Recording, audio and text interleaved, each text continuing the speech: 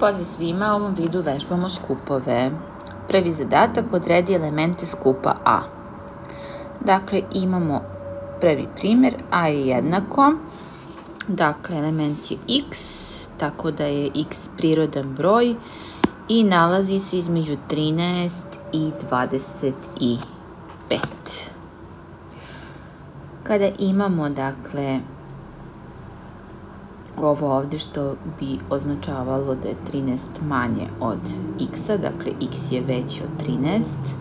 Prvi element koji je veći, a pripada skupu prirodnih brojeva je 14, tako da idemo od 14, 15, 16, 17, 18, 19, 20, 21, 22, 23 i treba da bude manje od 25, što znači da će poslednji element biti 24. Dakle, 13 i 25 ne ulaze u skup, nego ulaze dakle prvi koji je veći od 13 i dakle ovaj koji je manji od 25. Tako da idemo od 14 do 24. Idemo drugi primer.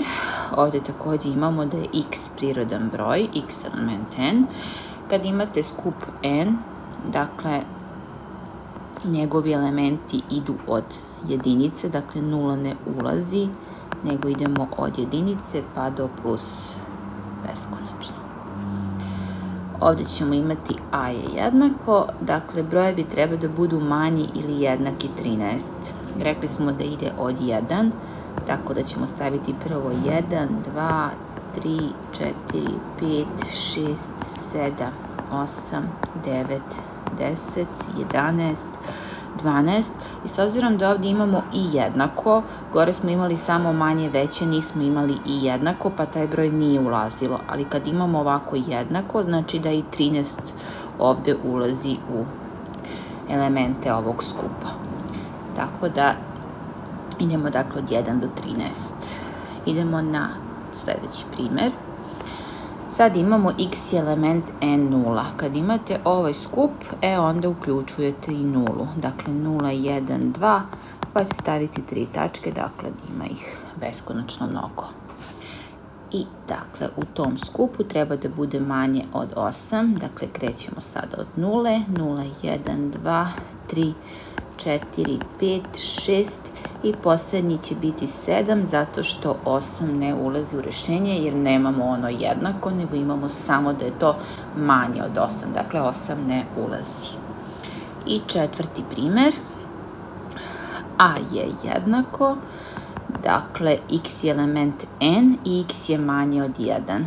Da li imamo dakle, neki element ovog skupa, pošto x je manje od 1, 1 ne ulazi, a mi znamo da u skupu n, dakle ne koristimo nulu, nego idemo od 1, a 1 ovde ne ulazi, tako da će ovo biti prazan skup. Prazan skup možete ovako obeležiti ili možete jednostavno staviti ovako ovaj precrtan kružić. Dakle, obe ove oznake se priznaju kao tačne.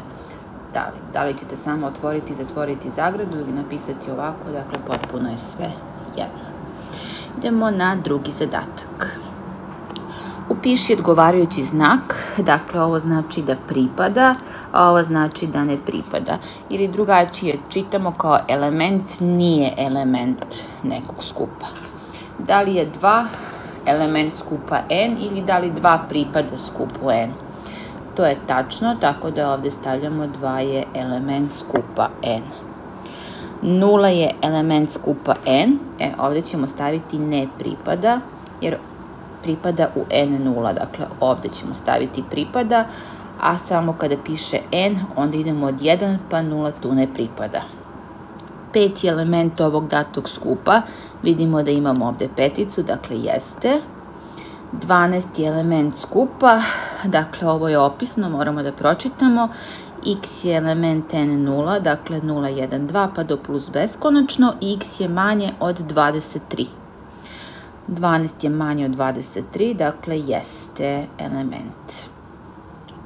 8, dakle imamo opet prirodni brojevi sa nulom i nalazi se između 8 i 10. E sad, pošto ovde nemamo jednako, nego imamo samo da je x veće od 8, znači da osmica ne ulazi. Pa ovde ćemo napisati ne pripada.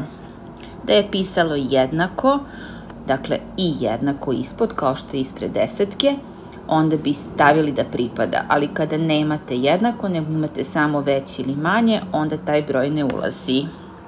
Idemo na treći zadatak. Da li su ovi skupovi jednaki? A je, dakle, elementi skupa A, 5, 8, 2, 3. Ovdje imamo 2, 3, 5, 8. Vidimo, dakle, isti broj elemenata i svi su isti, tako da će ovdje odgovor biti da. Drugi primjer, A je 4, 2, 1, 6, 9. Ovdje imamo 4, 2, 1, 69. Ovdje imamo element manje, dakle ovdje pišemo ne.